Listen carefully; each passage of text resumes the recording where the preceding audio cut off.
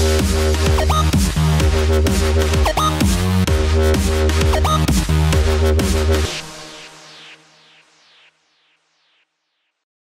a pretty interesting boot review for you guys today. And this one is the Head Hammer 110. Now the Hammer is Head's freeride slash big mountain boot. Um, but there also is sort of a little brother version to this, um, known as the Thrasher, coming in two different flexes of an 80 or a 100. Um, the Thrasher is just a little bit more marketed towards park skiers, and this Head Hammer being a little bit burlier, stiffer flexing, big mountain boot option. Basically everything on this boot is geared towards and has been developed for shock absorbing properties. Um, but first things first, uh, let's take a closer look at it. It is a three-piece design boot, so a full progressive flex tongue through the front. Um, but the interesting thing is Heads really put their own stamp on it.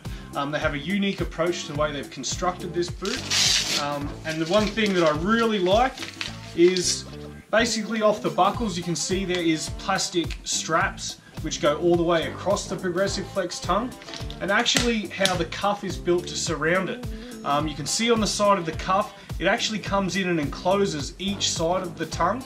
Um, so it actually gives it quite a lot of power and keeps a good amount of uh, lateral rigidity through the boot. Um, so from a construction standpoint, it's already getting my tick of approval. Um, we have a 98 millimeter last. Um, now this 98 millimeters, even though that is quite a narrow last, isn't as constrictive as you would think. It's not as narrow as you'll find in a lot of other 98 millimeter boots, but it does offer a great foot security. It feels nice and snug and secure, um, but just a great sort of shape through the boot. Um, the other thing that does include is Head's form fit technology. So it is one that is completely moldable through the shell. Um, so a little bit wider foot um, or any sort of lumps and bumps can mold into this boot quite easily. Um, the other thing, the first instinct when you put it on is it fits short. Um, it's something that may be a little bit abrupt for some people, um, but you're definitely going to notice your toes right up the front at first. Um, so really it fits very true to size. You've got to be used to that snug fit if you want to get into this one. Um, but again, that form fit can help settle that in. And the other thing of interest straight away from a construction standpoint is just how high they've mounted the cuff. Now you can see the hinge pivot points are mounted up around ankle height um, and this is what they're referring to as their ErgoTech 3 uh, or ErgoTech shell. Um, basically, from this mounting point, it is allowing a lot of leverage through the leg. Um, again, I think it's geared towards big impacts. And they even have an elastomer built into the rivets, basically to dampen vibrations. All right, so let's take it apart and take a closer look at the liner.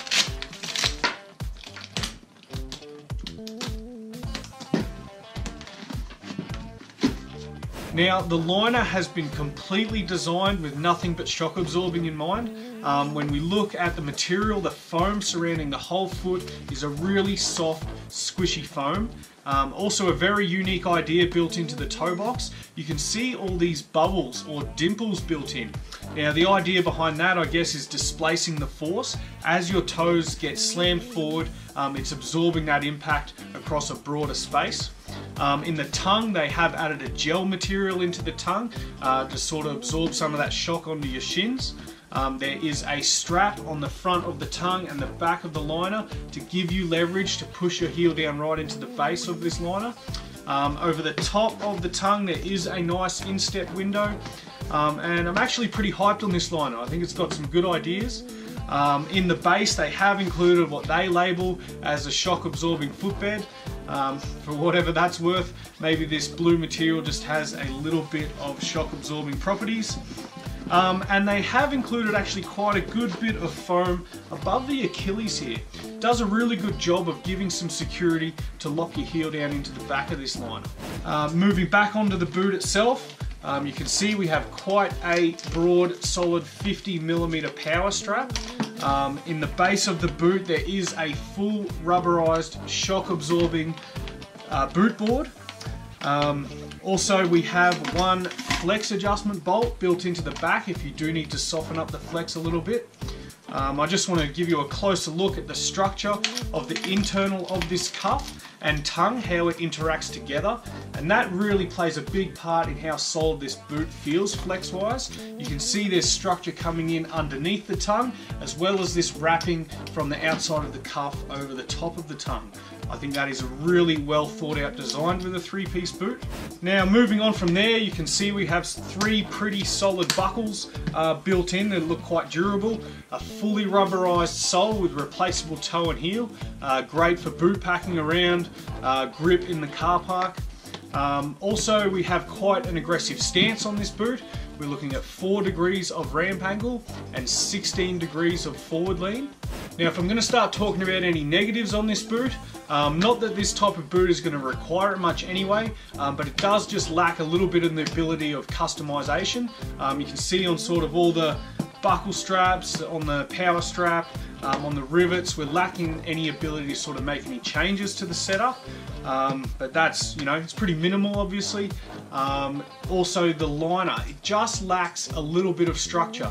You definitely do need these straps to sort of get you down in place in the heel because it sort of feels like it collapses a little bit with this really soft uh, foam built into the liner.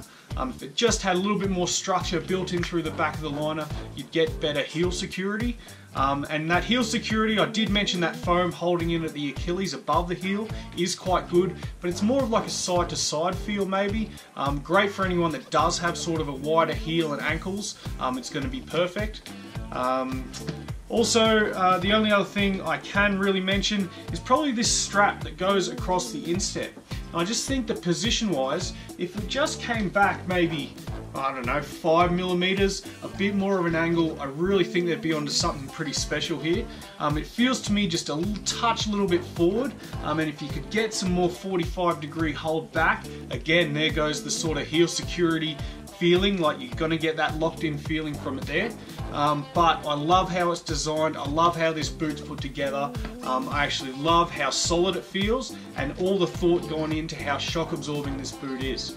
Um, it's going to be a really great option for someone who's skiing pretty hard, likes to jump off things, likes to hit the park.